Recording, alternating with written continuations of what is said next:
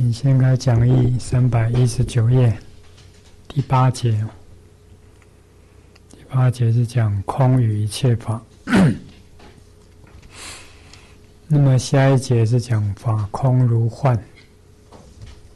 嗯，这两节都有比较密切的关系哦。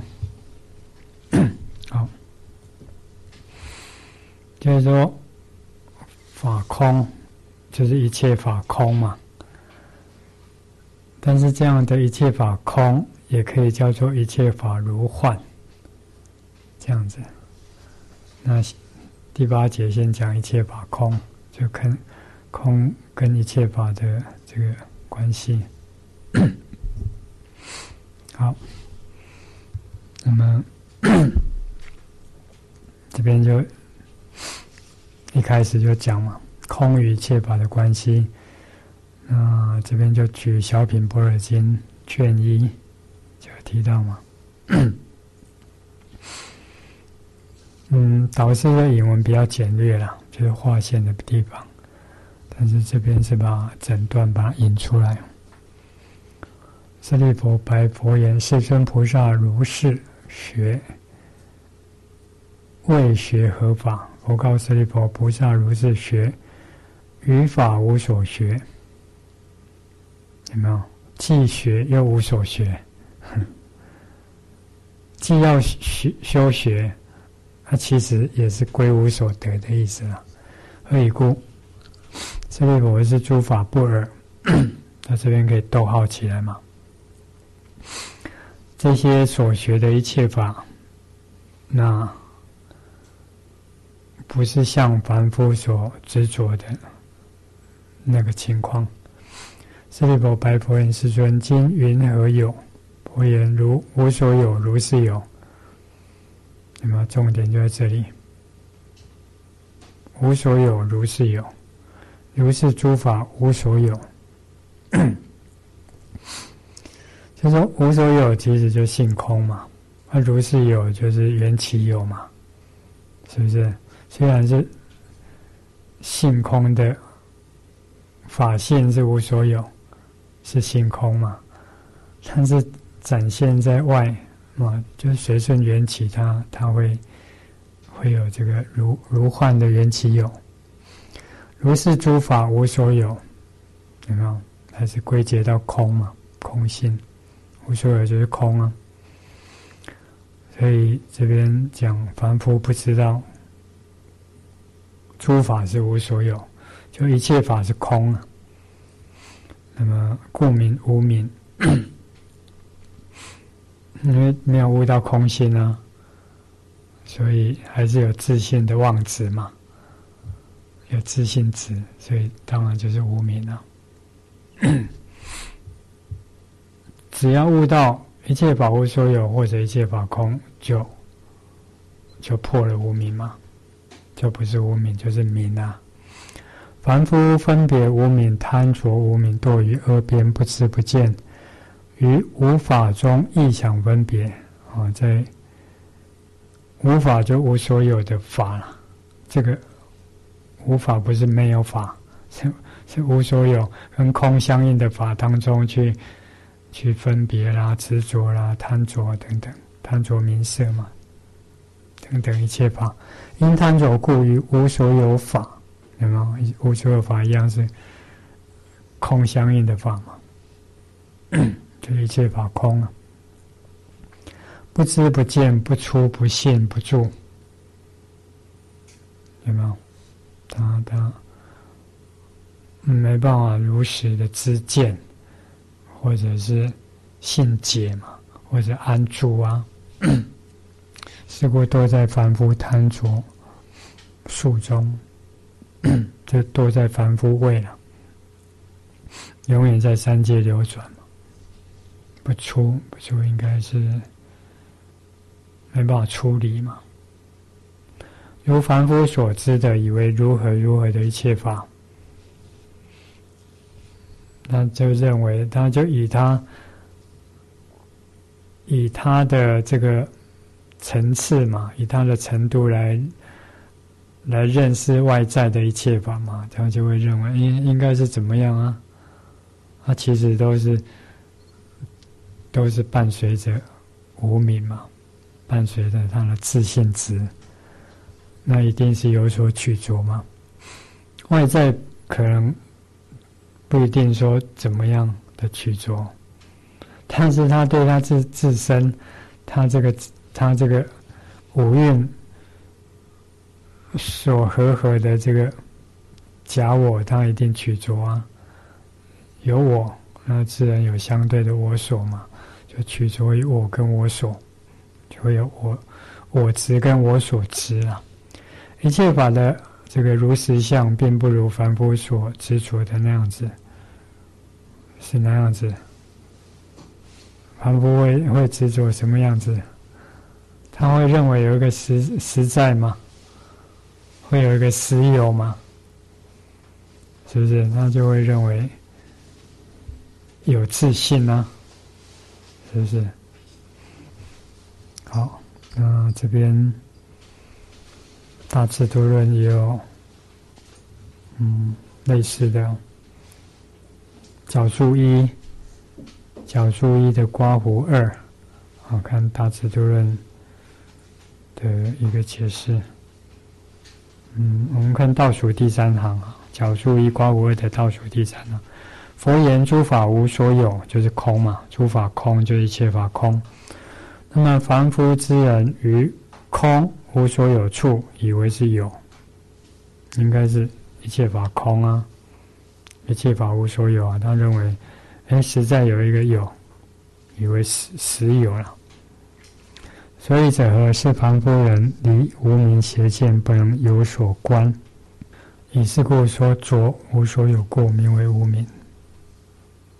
他他没办法离开无名邪见嘛，不能观诸法的实相啊，是不是？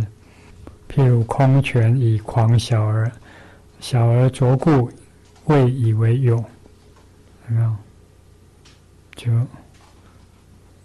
就就骗小孩嘛，说，哎，他以为这个空的拳里面有什么东西，哼，一张开也是没有啊。他只是做一个样子嘛，哎，是不是？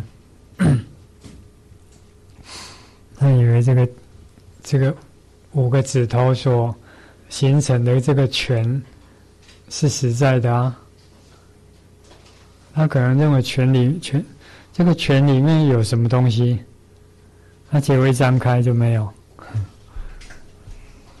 舍利佛问佛：何等法无所有？着故就是无名嘛，那有所执着，那当然是无名了。好，我们看下一页啊，三百二十页。舍利佛问佛：“那么一切法是怎么样呢？”嗯，其实这一段也可以在参考讲座的这个课判，你们那？就。就把它拆解的蛮细的啊，是不是？先举经嘛，我们前面大略解释的那一段经，那底下导师就是依据依着这一段经的一个意涵来做解释嘛，是不是？有没有？舍利佛。问问佛佛问佛陀嘛？那么一切法是怎么样呢？那佛陀就回答嘛，就是划线的这个地方嘛。如无所有，如是有；如是诸法无所有，这样子。凡夫不知，故名无名。那导师就解释嘛：一切是无所有而有。那凡夫不了解啊。不了之嘛？那以为是一般所了解的那样子，所以说是无名，有没有？他这边就把它分成，这边就变成第二第二小段，前面那一段就是有没有上一页的最后一段嘛？凡夫以为一切法是实有而有所取着嘛。他先讲结论啊，底下再依着这个经文来来解释嘛。那接着第二小段，接着第三小段怎么讲？这一个问答表示的有两个方面，一个是迷迷惑颠倒，一个是悟。一个迷，一个悟嘛。众生众生皆是迷嘛，圣者这边是悟嘛。迷的部分呢，众生以为如是如是有的，那是迷子的生死。如是如是有的，就是他认为是真实有了，他认为是自信有嘛。那当然就是就是在生死这边嘛。那圣者哎，了知一切法，证悟到一切法空，一切法无所有，那就解脱了。有没有？于一切法迷执为实有，那么就生死；那么体悟或体证无所有，那么就解脱嘛？就分这两个啊，要么解脱，要么生死。好，第四小段接着，这就符合早期的二谛说。第四小段就做一个结论了。就是一切法与空的关系，那么，嗯，其实就是用二谛说来做一个教学的方便，有没有？显示底下会提到，比如说这边就引中论金木寺嘛，金木解释中论其中一段嘛。嗯，这个是如来品，应该是观如来品啊，第二十二，有没有？已经是蛮后面的。那里面就有提到，世俗谛者，一切法法一切法性空，而世间颠倒故，生虚妄法。就是以真谛来讲，当然是性空嘛。那属地来讲，就是因为时时间人就迷惑颠倒，那就以为是把这个虚妄法，把这个真实法，嗯，变变成虚妄颠倒了，有没有升起这个虚妄的执着嘛？升起这个自信的妄执啊？于世间是实，他就认为，哎，这是真实的。哎，有一个实在的这些现象种种，诸现贤呢，真知啊，他真正的悟得这个空性嘛，啊，知道颠倒，这些世间这些是颠倒的，这一切法皆空无生。那么于圣人来讲，那么空无生，那才是第一谛嘛。那才是真实。好，到这边，接着还是还是结论啊，还是一个一个解说。那么最后这边的解说呢，后面还会再提到，然后第九章的那个地方，二弟说到中本般若的后分，那就有很多地方提到了。二弟说：“中本般若的后分，为什么要在后分才提到呢？因为后分已经比较偏向偏向，就偏重在方便道嘛，是不是？中分的话，嗯，中分是般若道，那后分是方便道嘛，这样子。”中分有有六十品，从三甲品第七到雷教品第六十六，有六十品。那六十六十七品到最后一品，那是后分嘛？这样子。依波尔经来讲，第一地那就是生一地嘛。是没有任何差别、差别啦，或者对立啦，或者相相对啦等等这些可说嘛。第一地当然就是是空，是空心嘛，是涅盘啊，是实际啊。那还有什么差别相可以说呢？不可思不可议的境界啊，有没有？就是离开了思跟意，不可思，用用我们的思维去了解，或者用我们的言语文字去表达。因为我们的思维、思想，那都会落入差别嘛。那言语、文字也是落入差别啊，都有它的局限性啊。为了方便说法，不能不说二，但是在在世间，他要让大家了解这个，不管是世俗地还是生意地，世俗地当然是没问题。就是用一般的嘛，大家共许的这些语言文字来表达，是不是？那圣义地一样啊，要让人家就是约略的了解那个圣义地大概是什么样的情况，那也是要做做这个表达。他既然做表达呢，一定要用到语言文字。那一一落到一一用到语言文字，那就有相对的这种情况嘛。恶就是相对的，那不利这个恶的语言文字相对的这些名相，那你怎么怎么讲一这些法呢？种种的法，一切法就没办法来说明的了。因为其实就像禅宗禅师要要教导他的弟子也好，好跟他一起学的。他也是，他不一定说啊，但是他可能用用动作啊，是不是？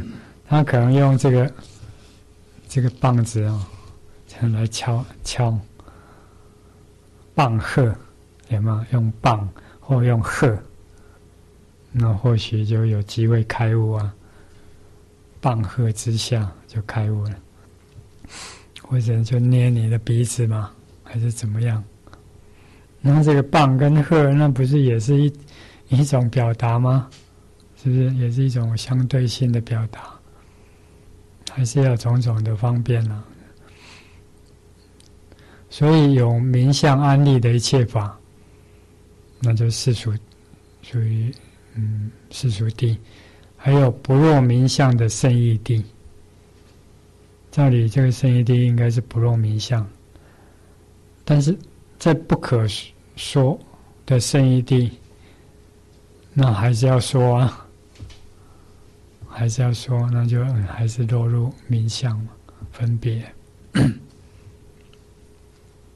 哦，对，这个角注一的挂五二后面还有，嗯，我们看三百二十页的那个角注，佛的回答：色乃至十八不共法。色就是五蕴等等嘛，然后接着就十二处十八界啦，这些凡夫法是不是？那一直到声闻的菩提、辟支佛的菩提，还有佛的菩提，这些圣者的法。所以色乃至不共十八不共法，就包括凡圣的法，那就是一切法了。那么在一切法当中，那当中是无名贪爱的缘故，异想分别，那就会分别说是名是无名，那就会堕入有或者无这两边嘛，那就会失去智慧的光明。那因为没有智慧的缘故，不见不知色毕竟空，无所有相，那就会生异想分别而执着，乃至四众、十二入、十八见、十二因缘等等。四众就是四运了，因为是接着前面的色嘛，一开头就都会先取色运呢。那那一个头一个尾就包括五蕴嘛，那五蕴讲完之后就十二处，就十二入嘛，十八界，运处界这三科，接着有十二因缘啊，十圣地这些出世法，或闻善法，所谓六波罗蜜乃至十八共不共法，亦如世间法，异想分别着圣法亦如是，他不管是。善的或者是一般世间法，他都有所执着啦。以是故，名堕凡夫数，如小儿为人轻笑，如人以子视月，愚者但看子不看月，智者轻笑言：如何不得失意？是者意，此为知月因缘，而更看子不知月。啊，重点就是后面这边嘛。诸佛贤圣为凡夫人说法，而凡夫执着因声语言，不取圣人意，不得真实意。因为不得真实意，那就一样会产生执着嘛，在实相当中产生执着。这个是也是对照对照前面那一段的经文啊。对照前面那一段的经文，也就是说，我们三百一十九页不是引小品波尔经吗？那小品小品波尔经的这一段的含义呢，在大品波尔经的卷三啊，就是角注一这边，就是有有类似的一个内容啊，有类似的一个内容，有没有？他也是提到凡夫嘛？为什么是？之所以是凡夫，就是因为因什么缘故？那大品般若经大智度论这边有有提到吗？所以可以做一个对对照了，可以更加清楚。好，我们看三百二十一页哦。三百二十一页在讲座的这边有没有？讲座的科判是怎么样？一切法与空的关行教学，这样科判也蛮清楚的嘛。因为要谈到一切法跟空，那他在教学方面，嗯，就是说《一波尔经》嘛，《波尔经》哪些部分是跟这个有关的，是怎么样呈现的？啊，是用什么样的名相来表达？这边就就开始说明嘛。然后这边又分几组，第一组是真如跟法性这一组嘛。那就圣义地来说，下品般若、下本般若，那通常也会提到真如，那有的时候会提到法性。啊，比如说这边有提到嘛，法性唯一，无二无三。法性就是一，没有没有其他的，它就是一嘛。那这个法性，那也是非性非作，非性非作，非造作出来的嘛，也是非这种分别性嘛，分别的自信嘛，或者是。法性就是非世间性啊，或或者非凡夫性嘛，或者非世俗地这个部分啊。这个在小品般若经卷四跟方光般若经也有有提到。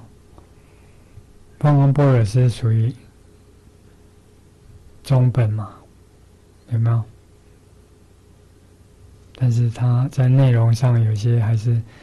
可以互相呼应的啦，啊，第一组就是提到真如跟法性，那第二组呢就提到法界实际跟法住性，这个是在中本般若的前分，那后分也有提到法界或者实际或者法住性。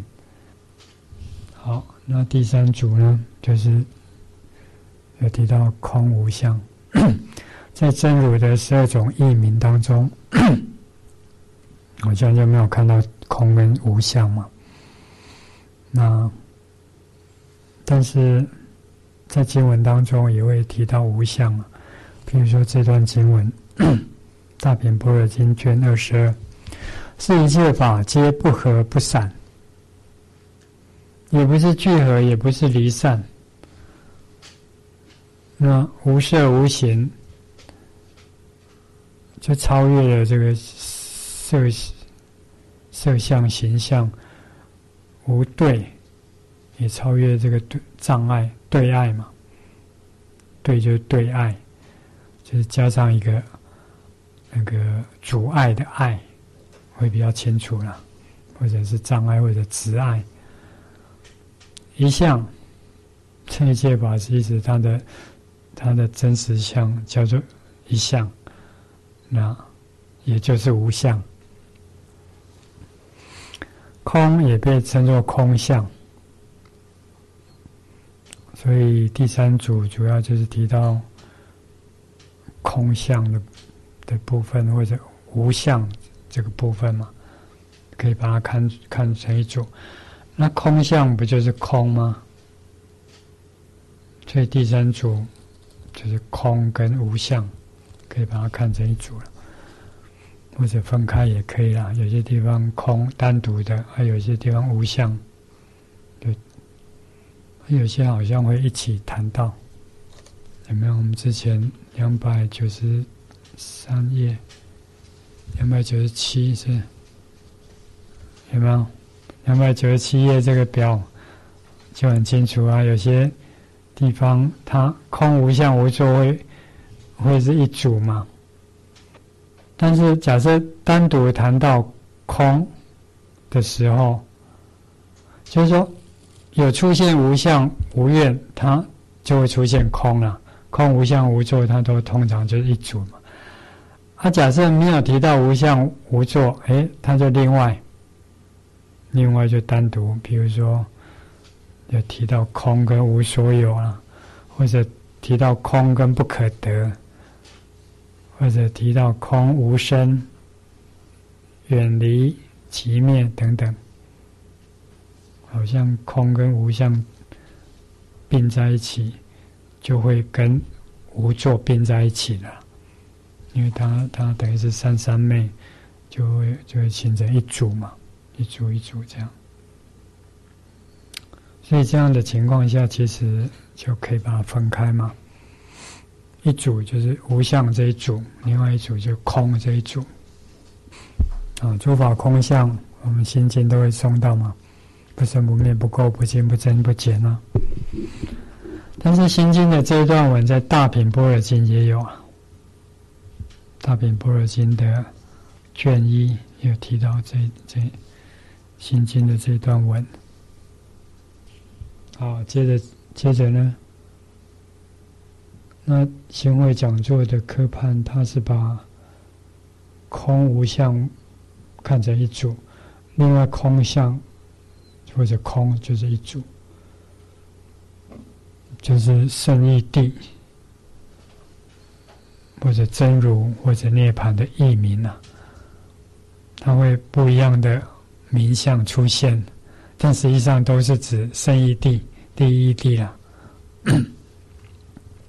那第一地，你要让众生约略的去了解到、体会一下，那也是要施设安利种种的义名嘛，是不是？从真如法心一直到无相、空相等等。或者空等等，好，接着就讲到另外一段，如实性解一切法皆空的观行，一切法皆空，那就就牵涉到一切法跟空的关系嘛？那怎么样就如实性解呢？这边就举到《大波尔经》，玄奘大师翻译的这个大般若经第二分有提到嘛？那这个第二分其实属于中中本啊，对应的是中本般若。但是这段经文呢，跟心经确实非常的接近了，啊，有点类似。那这边是把它分成三大段。标中民义，啊，两大段，啊，啊，三大段。第三段是结成了，先标中，标举它的宗旨啊。那是先讲一个结论啊，它的宗旨是什么？啊，接着就解释啊，对吗？要要解释明说明它的它的意涵嘛。那最后再做一个结论。标中这边就讲，这例子是是哎，诸色空，彼非色，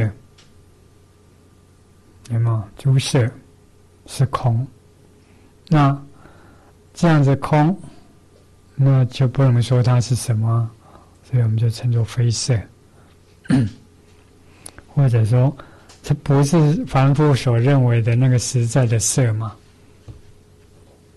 那其他的四蕴也是啊，受想诸受想行是空，那就不是凡夫所认为的那样子的受想行识。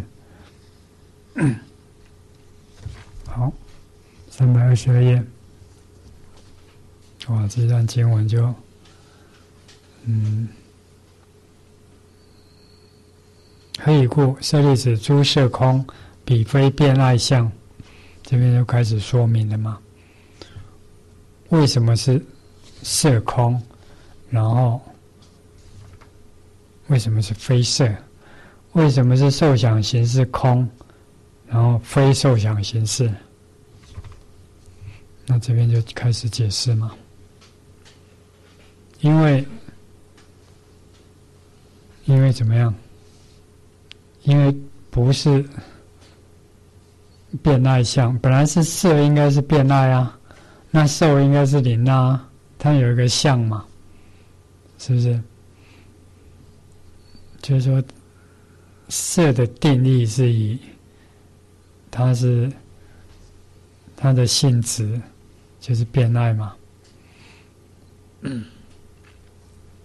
那受它是灵啊，想是取向。形是造作，事是了别，那这边都把它否定掉，就是说不应该执着了，应该要空掉，所以用非这样子，非变那相，是色的部分；受呢，非离那相，就是说在缘起的这一面，那当然是有变那有离啦。但是就实相的那一面，那就不能再执着它的变爱灵啊等等，有没有？何以故？色利子，色不异空，空不异色，色即是空，空即是色，跟心经一样嘛？是不是？跟就是色跟空的关系，但是不异就是不离啦。色跟空的关系是怎么样？它是不能忽离开的。色不离开空啊，空也不离开色，就是不异这一组。那色即是空，空即是色呢？两个是相即，那不就是相即就是等同嘛？等同的意思不是两个两个两个比较是一样，就是说不是不是有两个哦，它是一个。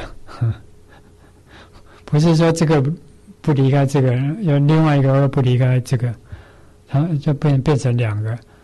啊，到了极世，它就不是两个，是一个。色就是空，空就是色，就是说色的当下了啊，包括受想行识，它的当下就是空。那空呢？哎，当下缘起有，也呈现出。受想行识这些缘起的相嘛，受想行识不异空，以以底下都一样嘛。那么结论是什么呢？诸法空相，不生不灭，不不染不净，就不垢不净嘛，不增不减。那这边是心经的内容嘛？这边再加上非过去、未来、现在，就超越超越了时间的过去。未来、现在的相，包括时间也超越了。嗯，不生不灭这边，大略先看一下，在三百二十七页这边有没有？我们讲义三百二十七页，他就解释什么是不生不灭，什么是不垢不净，什么是不增不减，什么是非未来、非过去、非现在。那不生灭是跟法体的。有无生灭有关吗？有没有生灭不生不灭？下面那一行的后面有没有约法体的存在或不存在来说的啦？就指指那个法的本身，那那那一法一一的法本身呐，本身它是有还是无还是生还是灭，是不是？那就超越了这些啦，不管是有无生灭。它就超越这样的相对性嘛，对吗？最后一行不是讲吗？那构建呢，就是就法，那依法的性质来讲，那也超越了构建就染净的一种相对。染净染净不是相对吗？前面生命也是相对嘛，那这边是超越了这个那一法性质上的相对，那不增不减是。针对法的数量来讲，那也超越了数量的增减的相对性嘛。那非过去、非未、非未来、非过去、非现在，是超越这个时间相嘛？好，回到三百二十二页哦。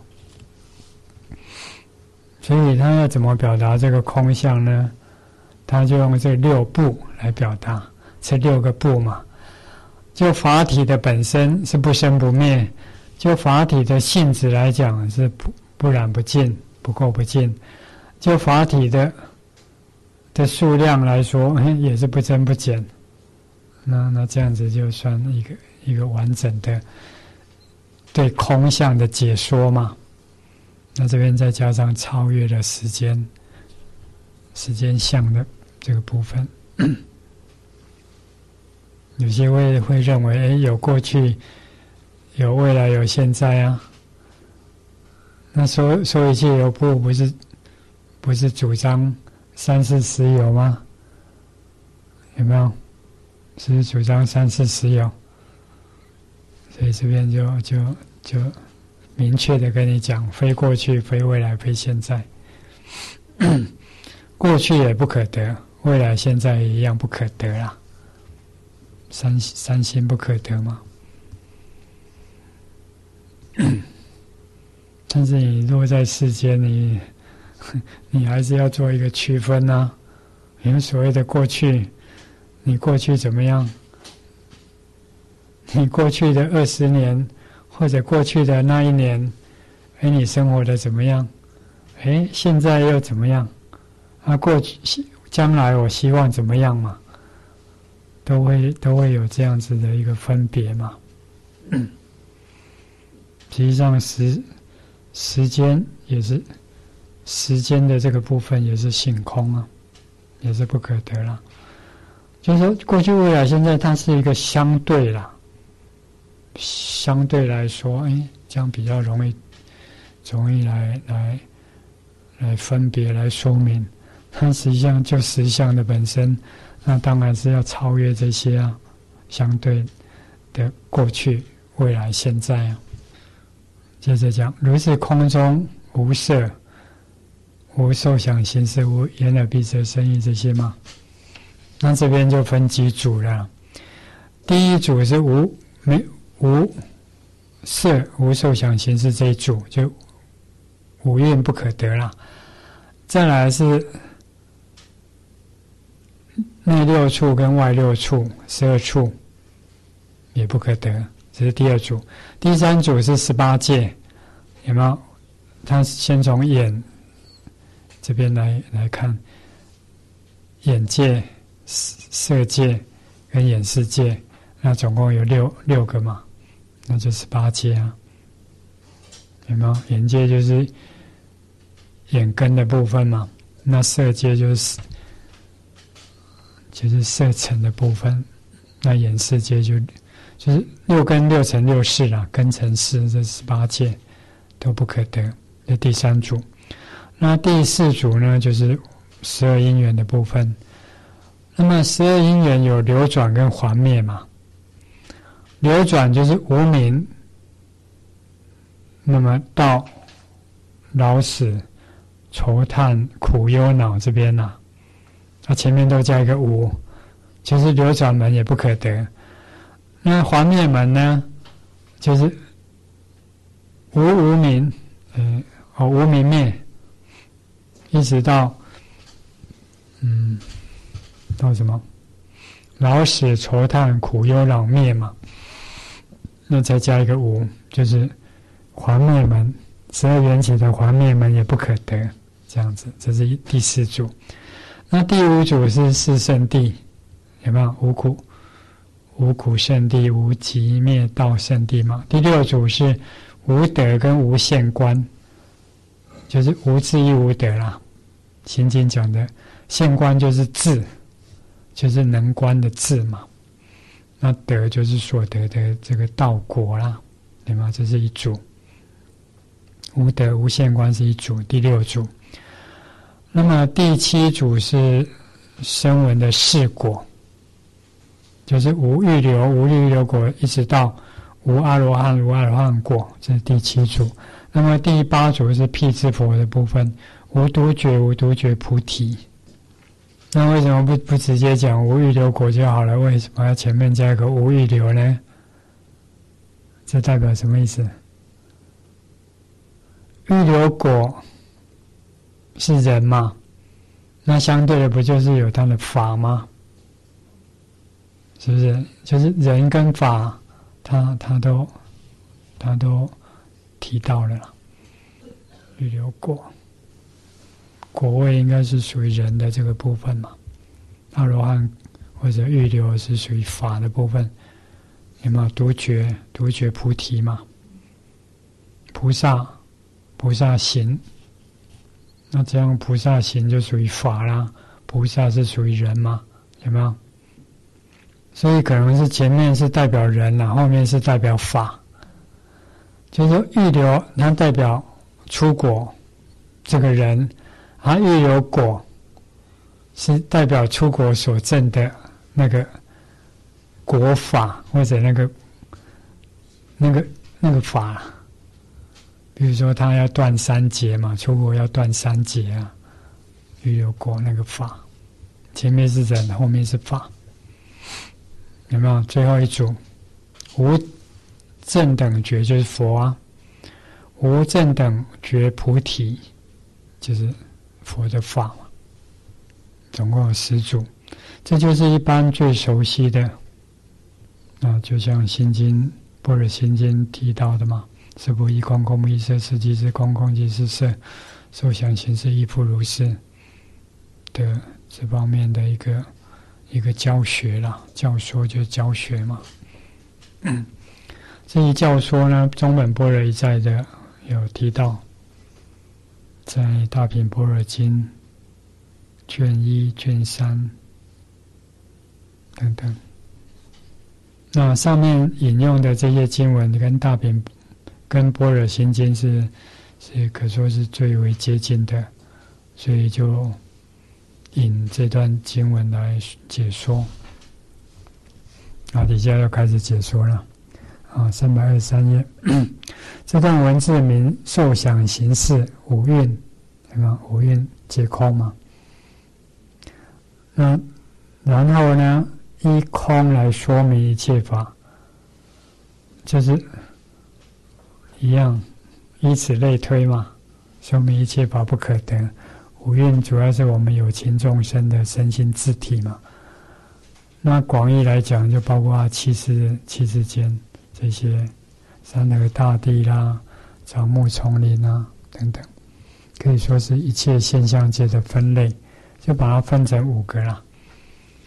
色蕴就是属于物质的这一类，那受想行识属于属于精神的这一类，这样子。那为了简单来说明，就一就举举色蕴来讲就可以了。那么整段经文可以分成这三三段啊，三节。标中是第一节，名义说明。要做一个说明嘛，啊，最后有个结论，第三节。嗯，我们先看标中好了。朱色，其实这色的后面你可以把它顿逗号起来了，或者不用逗号也可以啊。诸色它是空的，那朱色呢又又非色。所以你你把朱色在这边逗逗号起来，那后面是形容那个那个色的实相啊，空也是嘛，非色也可以来形容啊，有没有？比比就诸色嘛，诸色空比比，然后一个逗号再非色。所以，你如果诸色要逗号比后面逗号的话，那在空跟比之间是不是可以用那个分号，也是可以吗？那这样子是比较细了，那直接这样标也是可以了。诸色空比非色，直接这样来解读也可以。色当下就是空，那 B 这个色的当下也是非色。不是一般凡夫认为的色了。好，这边怎么讲？菩萨与般若波罗蜜相应，就是空相应嘛。那为了要说明般若波罗蜜照见，照见无蕴皆空，那所以就那就依依依这个来说明了。就是说，了解了诸色空比比非色，那么你就知道什么是无蕴皆空了嘛。或者你就知道色蕴为什么是空，这是一般所说的物理现象。那其他是精神方面的心理现象。那一般所知的这个色法是本性空的，这个意思就是说，色即是空，它不是要要怎么样去观观色明空，它是。它本来就是空的啦，你不需要透过观还是怎么样，但是就凡夫来讲呢，还是要用用观的方式嘛。在但是在说明上，它必须说明这样，它本来就是空，法尔如是啦，本性空的，那我们就把它称作非色。那么这两句呢，那在其他的经文也可以这么讲：是色，非色，空，是色。空非色，有没有？要要形容这个是色，那就用后面的非色跟空来形容它的实相了。那么是色，那它当体就是空，那也就是非色啊。这是说色是非色的，所以色是空。那色是空，所以是非色，那就是。它反复了，因为空，所以是非色；因为非色，所以是空。其实意义还是一样。好，我们这堂课先到这里，先休息一下。好，嗯，三百二十三页，标中的主要重点就是这这两句嘛：色空比非色，或者是这一段的后面。倒数第二行那边吗？是色非色空，是色空非色，其实一样啊。它只是一个是非色排前面，一个是空排前面嘛。那意思呢是怎么样？非色的意思是怎么样？就是说是色非色的意思，就是说，这个色不是一般人所执着那个实在的，或者永恒不变的色了。所以我们我们就把它称作空。那第二句呢，是色空非色，就是色是空的嘛，所以那就不是色的实相是空，那就不是一般人所执着的那个。实在的、永恒不变的那个色，所以称作非色。其实两个是一个啦，非色就是空啊。那空其实那也可以用灰色来表示嘛。两个都一样了，有没有？意义还是相同的嘛？只是它它应该是有它的含义啦。应该是有遮浅的意思啊，因为你讲空，有些会会觉得哎，好像没有。它加上灰色呢，就当然还是有色，但是你要你对色的执着是要去掉的，那个不不正确的认知要去掉了，所以说灰色嘛，跟也是有它的用意嘛。好，接着。那个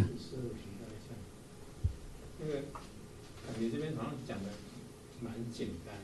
是。那个谁，他问说。对。怎么样去如实的信解？那，嗯，那佛讲的很简单，就就这样信解啊。对啊。那《金刚经》里面有在讲，就是说，他问说，那。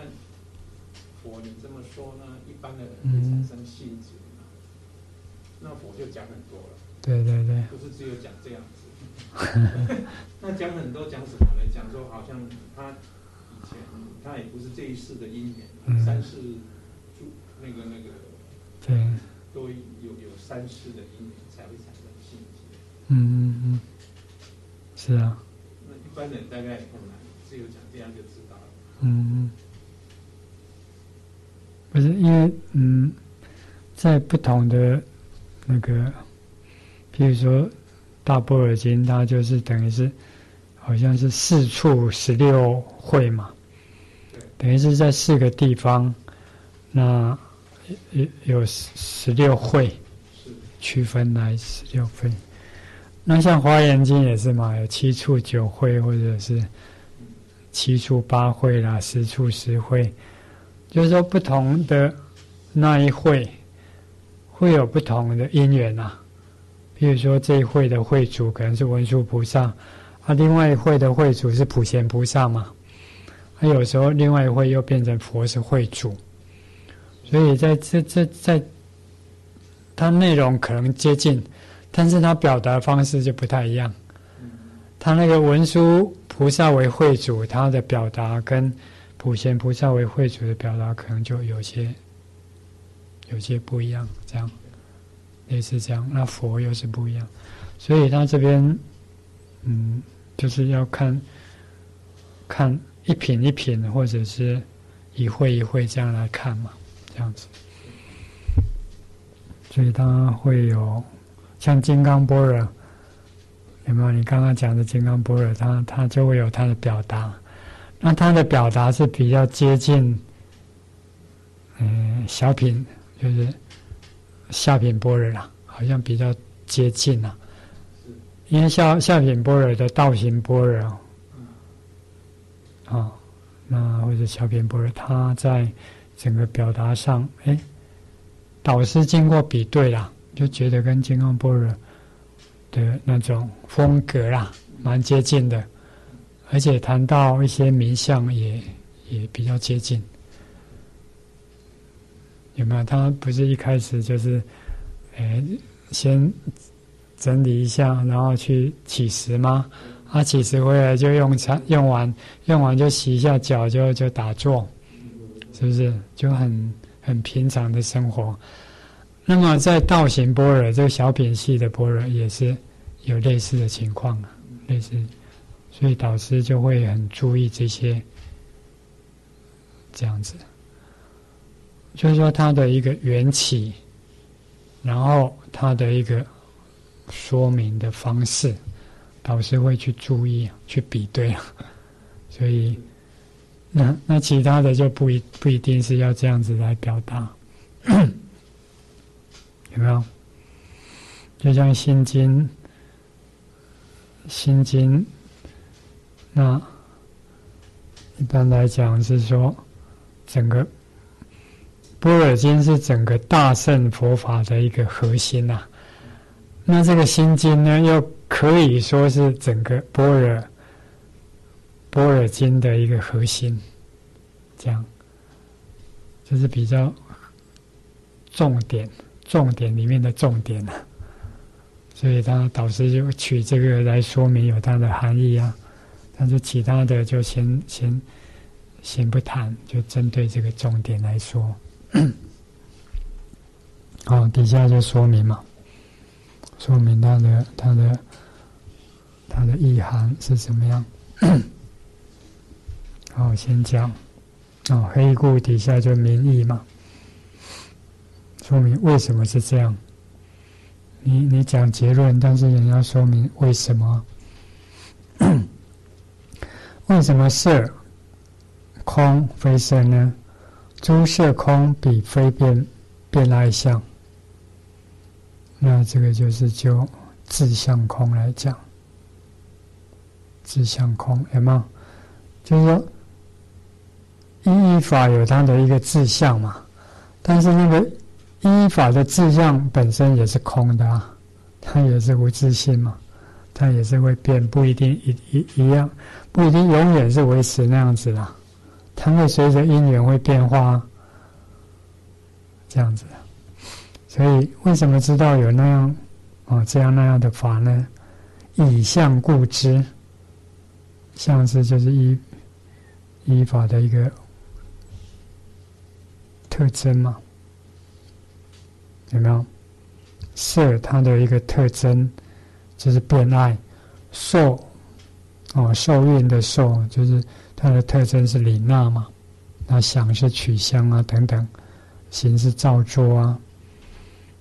那是就是了别嘛，这些。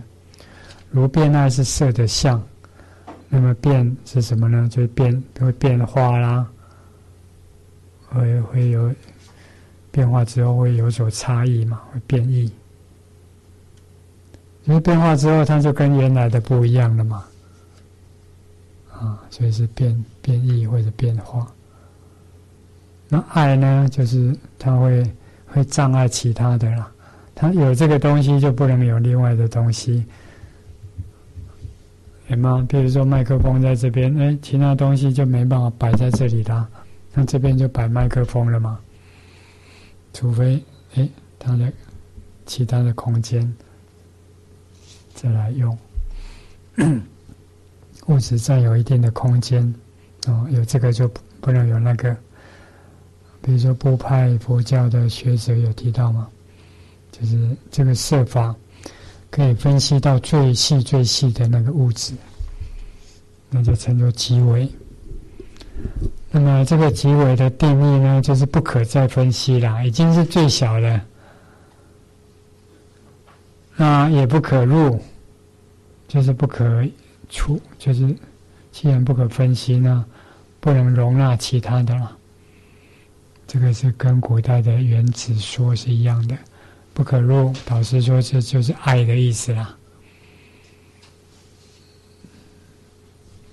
其实这个也是有有他的一个问题。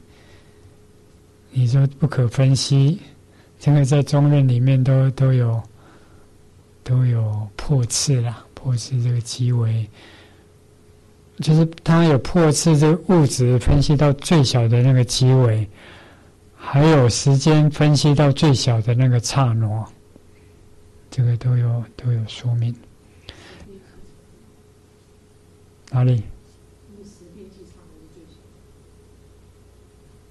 时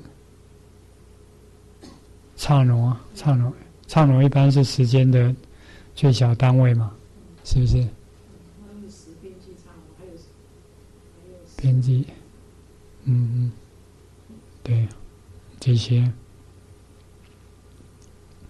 那他这个最小，他认为是有，他只是很很小、很细、很细，但是很小、很细、很细，那个物质或者那个时间还是有啦，他就认为那个那个东西是实有的。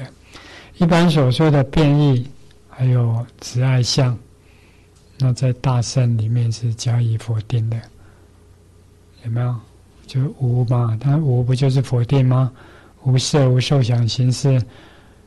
无眼、耳鼻舌身意无色声香味触法，不是就是否定吗？没有变爱的决定相，怎么可以说是色呢？就是说，它没有一个，没有永永恒不变的那个相嘛，那个自信嘛，所以没有变赖相，那不就是相空吗？所以，那就是这样讲，就是空。非色，那如果受呢？受一样是受是空，然后非受，那想也是一样啊，非想，以此类推嘛。好，底下提到何以故？色粒子色不异空，空不异色，色即是空，空即是色。这个在导师的《般若经讲记》有有有提到。好。那就是进一步了，进一步来解明空义了。好，三百二十五页，色不异空，空不异色。有的经文是怎么讲？色不离空，空不离色。他就把意改为离了。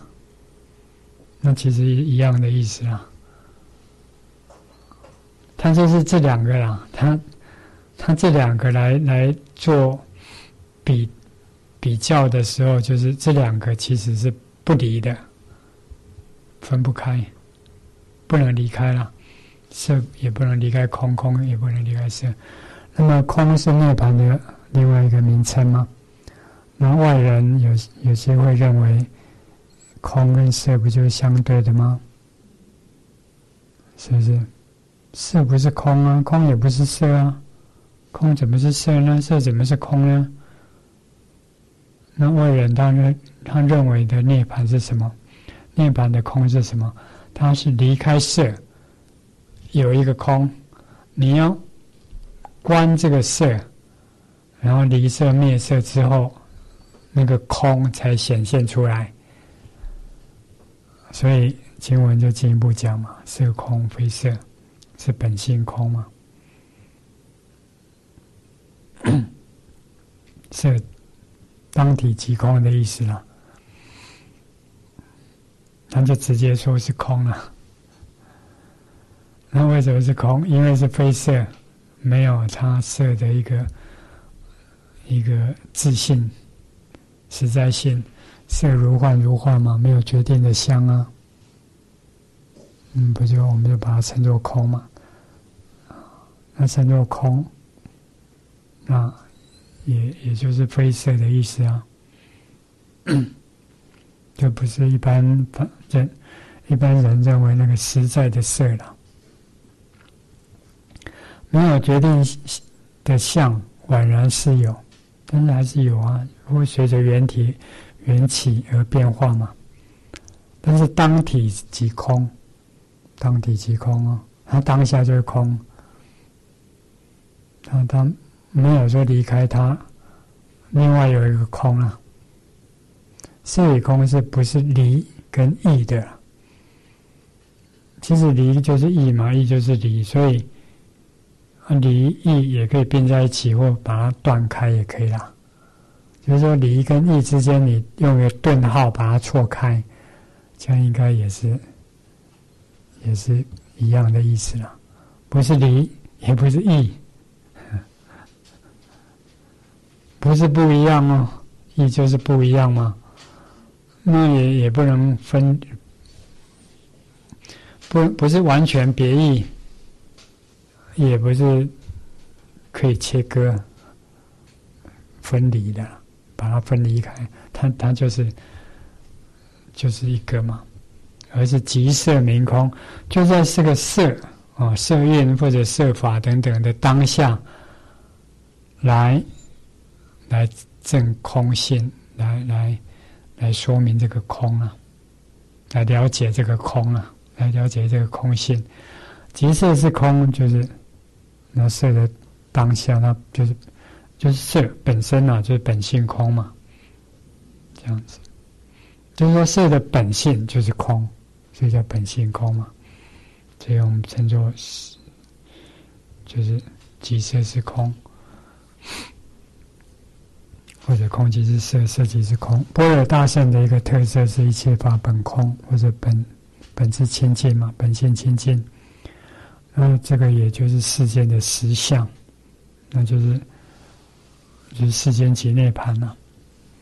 为什么说世间即涅槃呢？我们在这个世界那么苦，有没有？这个美国大选，我们就很多人就觉得很苦苦恼。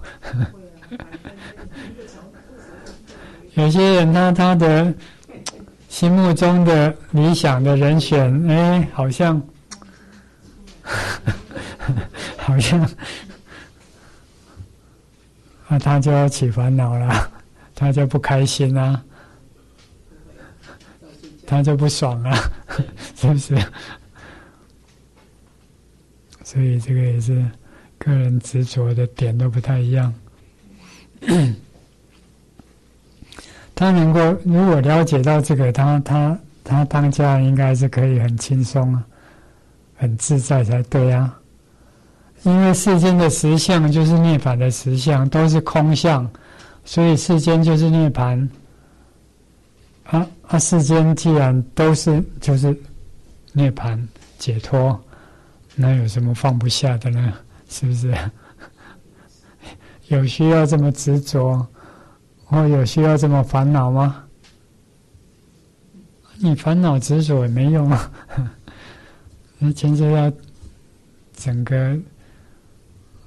众生的共业嘛，等等因素错综复杂，不是你想要谁当选谁，谁谁就一定跟工业有关的啊，多少都会有关嘛。当然，工业里面一定有别业，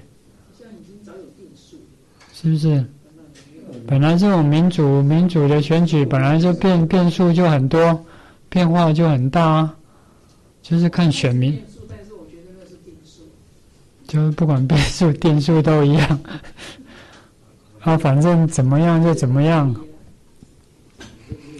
我们只能说尽可能尽人事嘛，让让那些比较不好的事情不要发生。谁当选好谁当选不好，也不知道。对啊，都不知道啊，这其实很多都是未定之天啊。谁当选那个病毒还在啊？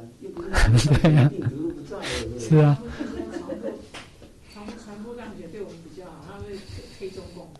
只是说，有些他可能就觉得，哎，这个候选人可能对对这个疫情，他会比较会去去去控制。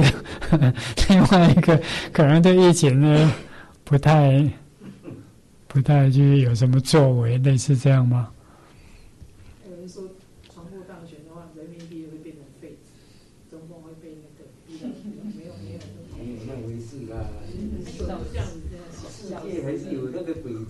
对啊，世界。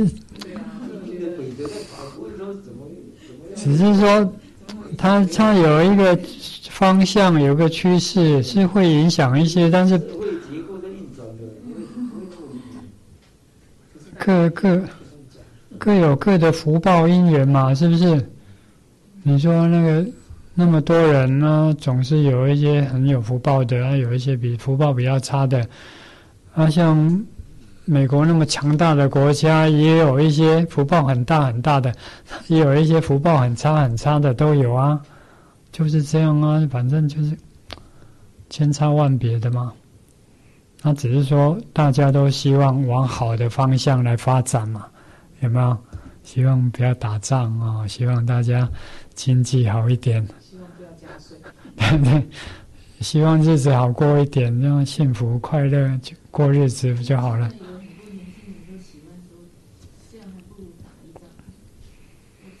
他要打仗也不是他他他决定啊，这个打仗不是打仗是很很花钱，而且很很很悲惨的。心脏病这个这个比比这个比比比什么都还厉害。对啊，这个无无形的无形的炮弹。比什么都还厉害。台湾算是福报相当大的啊。你看看欧欧欧洲那些国家，欧美国家哇，那个每天每天都都有人确诊，每天都有人往生，那真的很麻烦啊，是不是？那我们这边就要珍惜珍惜这个。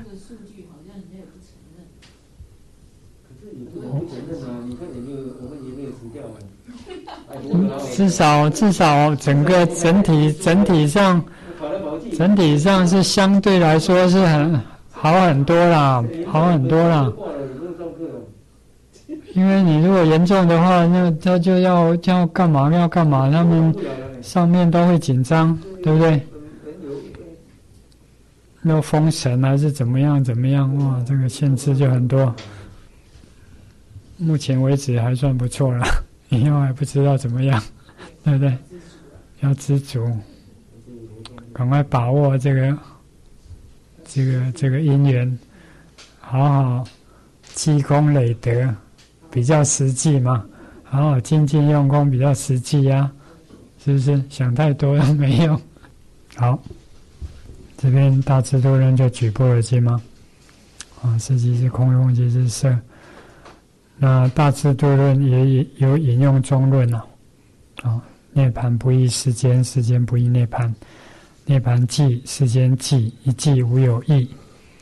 这个寂就是它的就近呐，有没有边际？那我们就把它称作就近嘛。它的最就近，它的那不就实相吗？涅盘的实相，世间的实相，那都是一样的。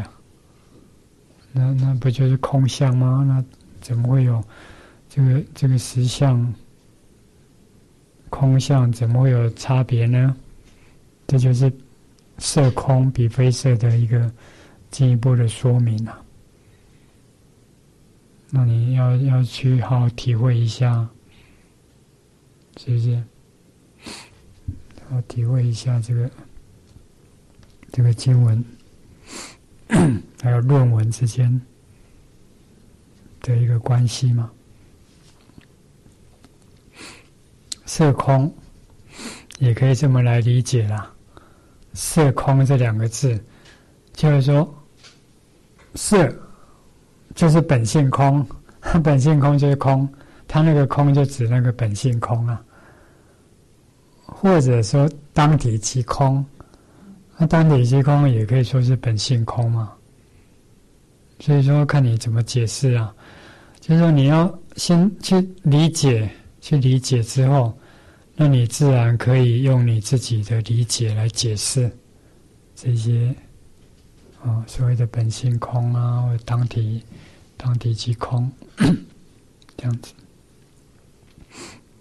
好，底下有一个结论，三百二十六页是诸法空相以下，那就是结成。哇，那结成就很多很多内容啊。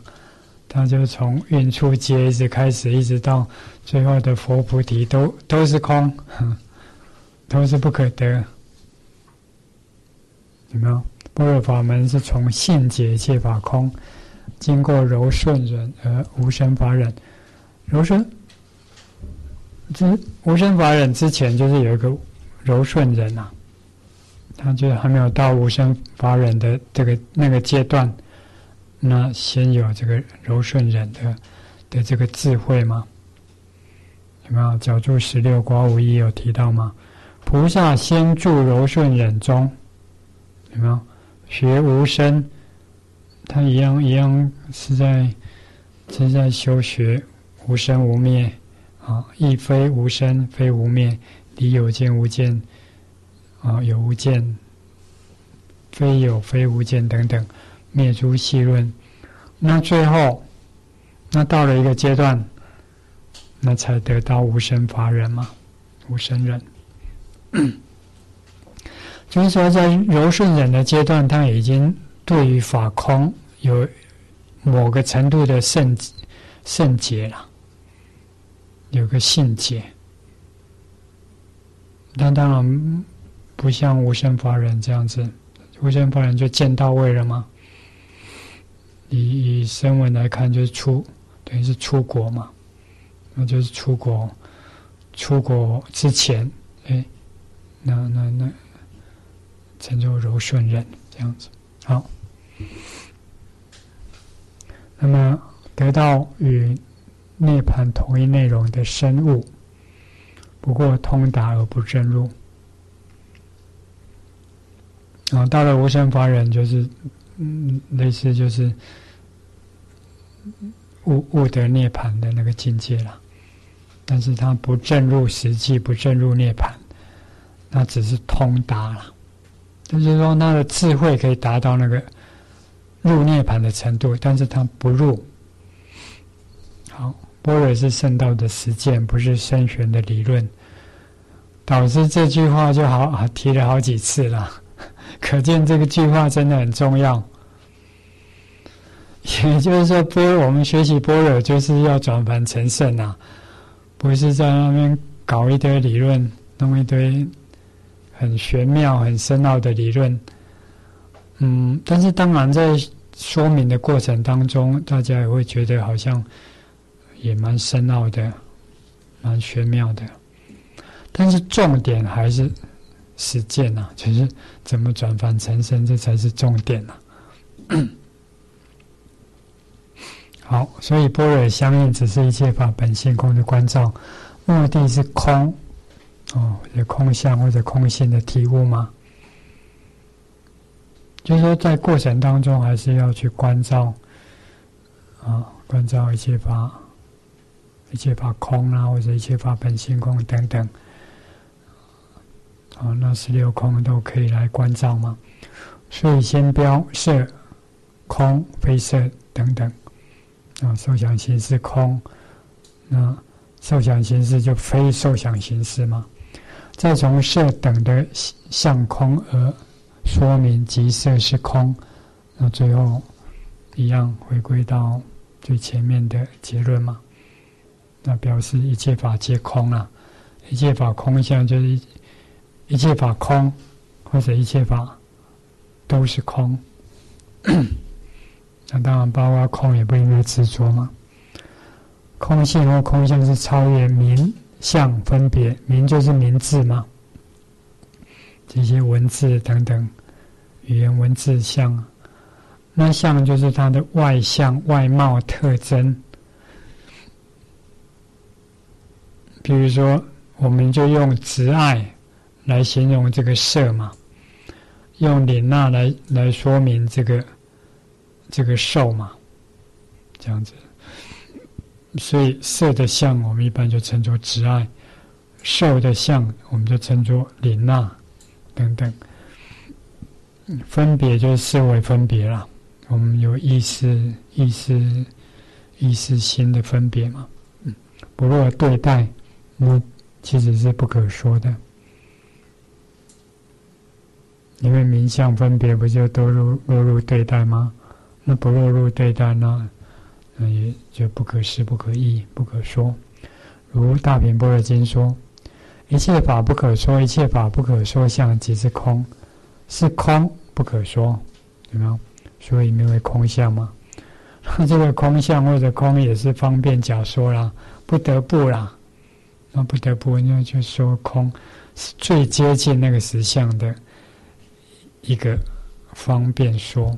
好，三百二十七页，经上提出这六部嘛，还有非未来等等三世，非过去、非现在、非未来，来表示空相。好，底下就解释不生不灭，生不生。的生是什么？就是升起嘛。那当然就是有，有就是存在啊。也就是这个存在它本身一定是现起或升起的啦。那升起，那当当当，也就是存在啦。你不能说它现起然后不存在，或者是存在或不现起，那两个是是一个啦。那灭呢，就是就是灭无嘛，就是等于是不存在了，就是不升起嘛，它的反面就对了。这个是就法体那个法的本身来说的，啊，这个法的它到底是存在呢？哦，我们就称作生。假设它存在，我们就称作生，或者称作有。那不存在，我们就称作灭嘛。那实际上就是生生灭灭，生生灭灭，这样子，生生不已啊。其实也是灭灭不已嘛。那生不是伴随着灭吗？那生生不已的生灭生命之流，不是生灭生灭这样子？但是大家有一个倾向，比较倾向生，所以我们就称作生生不息嘛，有没有生生不已？但空相不是说是有事物，或者是先。没有而后有，先无而后有，那也不是先有而后无。当然，在向上会会有，可能会有这样子的一个情况啊。那实际上是不生不灭，那表示超越有无生灭的一种相对嘛。那落入世间，它就会会区分有跟无啦，生或者灭，就像会有会有区分。那个贫跟富吗？或者是美跟丑吗？一定会区分这些相对的东西会出现呢？有没有？这边就提到法体的部分，就是不生不灭。那就法体本身，它有呈现出一个性质出来嘛？那性质会分。垢跟净，杂染跟清净，那但是空相就无所谓杂染跟清净啊。空相怎么是？你说它是属于这个还是属于那个？那经上也会提到清净啊，但是那个清净不是相对于杂染的清净，那个是代表空的那个名相，不是不是相对的清净哦，它不是相对杂染的清净哦。经上说的清净，通常是代表空啊，也是一个方便说。啊，大多数人有讲嘛，毕竟空就是毕竟清净，因为一般人会觉得，哎，空好像什么都没有，会会有一种畏惧的感觉，所以就方便说，哎，清净，好像有一个清净的东西。其实，其实用清净来代代替空啊。一方面说空性也是在禅不然，禅就是烦恼嘛。就是说你有烦恼，那它也不会因为你的烦恼去染污它。那你断了烦恼就出禅嘛，出离这个烦恼啊。那也不是另外得到一个一个清净的空，就是这样，不会另外得到一个清净的东西。不不会不会让它清清净了，也不会让它染污了。它它不受，它本来就是这样子啊。所以不垢不净，就不就是超越杂染清净的相对性吗？就是说性质的部分一样是空啊，它没所谓的杂染或清净这样子的的一种分别。好，接着讨论到这个法的本身会呈现有一个数量的的一个情况吗？增就是多，减就是少嘛，增多或减少。那空空性，它它不能用数量来形容啊，无数无量嘛，所以不增不减就超越了这个增减的相对性。就是说，你证得空也不是增加什么啦。那你们没有证得空，也不会对空的本身也不会减少它嘛？是不是？但它本身也不增不减啊。但是落入世间还是有增有减嘛。大家还是希望能够加薪嘛，或者是自己的生活能够改善嘛。你你你要看你有有没有做相对的努力，或者是你的福报有没有去增加？你的福报增加了，你当然就没问题啊。你不增加你的福报，不增加你的智慧，那你又要想要一个更好的生活，那可能，那可能要靠你过去的过去生的因缘嘛，不增不减。好，现在讲时间，空性是超越时间相的嘛，所以非未来，非过去，非现在。那另外，哇，那现在就举这个比较重要的这些法嘛，运处界，然后是第十二缘起，运处界是世间法，啊，接着就出世间法的四谛跟十二缘起，是空不可说，说空相不生不灭等。还是依依着超越世俗那所做的一个方便说嘛，是不是？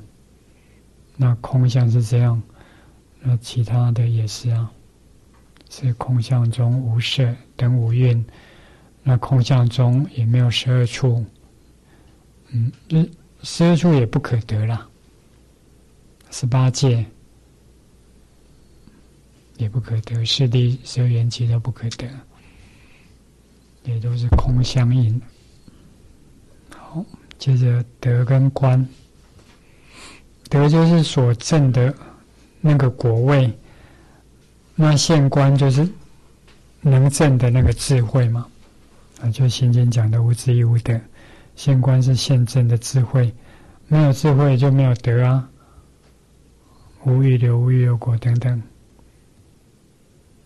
这些没有声闻圣的世果圣者，其所得的是沙门果。哦，没有独觉圣者，没有正德的独觉菩提，有没有？所以他前面都是指人嘛，后面都是指法，这样子。无菩萨，无菩萨行，无正等觉者，无正等觉菩提。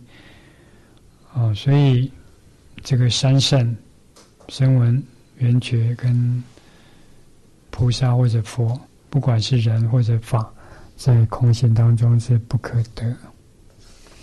好，三百二十八页，这段文字与《心经》的主体部分可以说完全一样的，只是《心经》是比较简简略一些。比如说“照见五蕴皆空”，一直到“受想行识亦复如是”。与诸色等空比非色，道空即是受想行识，是一致的嘛？是相当的了。既然无智无德，那有智有德的三圣圣者，这人嘛，跟三圣的这个圣法，那当然也不可得，就就简略了。也就是说，他用。心经就用无智亦无德来含摄后面呐，含摄后面那几组嘛，无无无欲流无欲流果，一直到最后嘛，无正等觉无正等觉菩提，那这样子含摄进来。好，最后是般若道的实践。般若道的实践是依一切法而观，为一切皆空。就就一切法的本身来观空啊，那看我们有没有办法观空嘛？是不是？就不离一切法的那个本身，那超又超越一切法，能够证空，不就超越了吗？如写的体悟，如大智度论这边讲，般若波罗蜜能灭诸邪见烦恼，细论将至毕竟空。那当把所有的邪见烦恼细论都去除了，那不就是真空吗？真空性啊！所以成佛之道有讲细论一空灭嘛，有没有？就是无名为什么十二十二缘起最最最前面不就是无名吗？无名才有形嘛。那无名的前前面是什么？无名的前面叫不正思维，不正思维的前面就是细论嘛。那这边就可以了，已经到了源头的部分。所以，怎么灭细论？你灭了细论，就灭了不正思维，就灭了无名啊。那后面就就生老死都灭了。细论一空灭，你只有证了空性，才有办法灭细论啊，否则都没办法灭。这样子。所以般若将入毕竟空，绝出细论嘛。那那方便将出毕竟空，沿土收身。有没有？唯识中啊，唯识的学派，它在解说上是不一样的啊。比如说，般若真见道的时候是没有任何相可见可得，相对真见道就有一个相见道。所以在角注二十一卦五一这边有提到吗？导师在变法法心论，这应该是唯识的一个的一部论嘛。这边有提到《变法法心论讲记》有提到，在修行的无畏，就资粮加行见道修道就近嘛。在见道之前，不就要要要具足资粮吗？要加工用行啊？有没有？不管是资粮加行，其实都是要提升我们的福德智慧啊，或者慈慈悲跟智慧了。那才有进，才有办法进入见道位嘛。那进一步修道，就近，经资粮位到加行位，那么，那到了四第一法，这应该是内盘位的最最高了。下一刹那，真正的智慧现前，那么正见现前，成就见道嘛。那见道又分两个，一个是真见道，一个是相见道。正见是真见道，啊，《般若经》讲，慧眼于一切法都无所见，就是其实慧眼的意思就是正空性的那个智慧啦。他用慧眼来形容，佛不佛不是具足无眼吗？肉眼、天眼、慧眼、法眼跟佛眼嘛，就是不一样的。智慧不一样嘛，肉眼就是凡夫的肉眼嘛，凡夫的智慧啊，啊慧眼就是圣者以上的智慧了，就是出国位以上的智慧，或者出地以上的智慧，啊，那就是称作无所见。那真正的般若现前，一切法都不现前。这就是毕竟空性嘛，或者称作真如法性，无能取所取，无能权所权，平等平等，都无所见。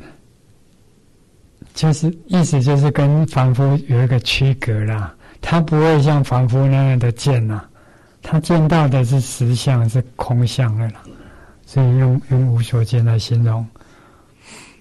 那么菩萨在定中真见到一切法都不可得，从真见到初定之后，那就会有这个方便的智慧嘛，称作获得智。就是说，应该是真见到先，然后后得智的这个相见道在后，有没有？通达空性是什么样？在后得智当中，用用世间的语言。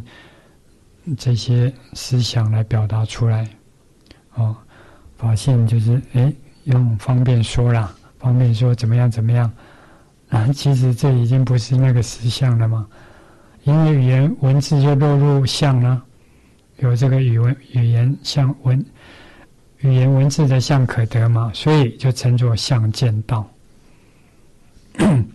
就真见道它是不可说了，啊，不可说当中要说。我们就就称作相见道，真见道时，般若是无相的，没有一切相，空相也没有，那一切相不可得嘛。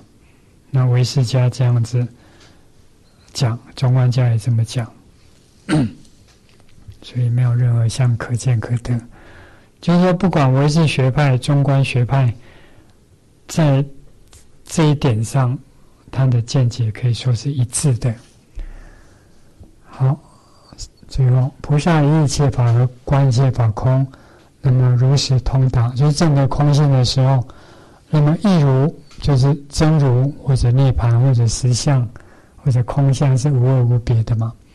譬如种种色身到须弥王三王边皆同一色，那都是金色嘛。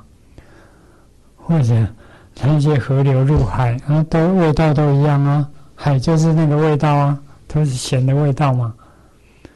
但是不同的河流，哎，有不同河流。一般还没有入海之前，就称作淡水嘛。然后它就是嗯没有咸的味道。那一入入海，那都一样的。般若经所说的空中无色、无等正觉等正觉菩提，也也就是这样子的一一个意涵呐，一个意义。今天就到这里。下一次应该就第三章就结束了。好，那后面还有一个附录了，大家可以可以可以看一下。嗯，下一次我们也把附录大概再看一下。今天部分有什么疑问或者是？